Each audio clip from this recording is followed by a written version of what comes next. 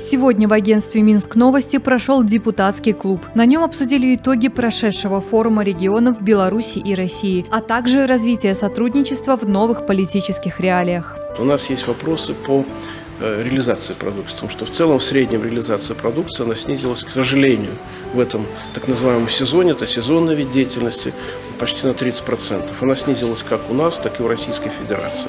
Что касается нашей ситуации, то импортозамещением мы можем заниматься только в кооперации с российскими производителями. То есть смысл кооперации в чем? Мы делаем ремешок, вы делаете корпус, тот делает то, и каждый у себя за счет общего объема рынка делает выборку той, той или иной продукции. Тогда получается экономически целесообразен инвестиционный проект. Дефицита медицинского оборудования у нас в Республике Беларусь не будет. Почему?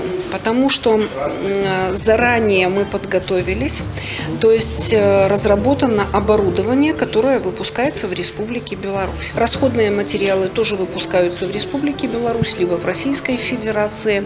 Ну и, конечно же, если говорить о тех э, импортных либо составляющих, либо что необходимо закупать, то, в принципе, все договоры продолжают свою силу и до конца этого года и подтверждены до 2025 года. Мы столкнулись с санкционным давлением еще в прошлом году, в июне. То есть мы попали в санкционный пакет номер 4 вместе с э, Минским автомобильным заводом. Немножко раньше начали эти работы по отношению к нашим российским партнерам. Конечно, после начала специальной операции начали заменять и компоненты, которые получали из Украины. Ну и постепенно выходим на российский рынок. Мы должны закрыть всю Россию. Правильно сказал Александр Григорьевич, что это время возможностей.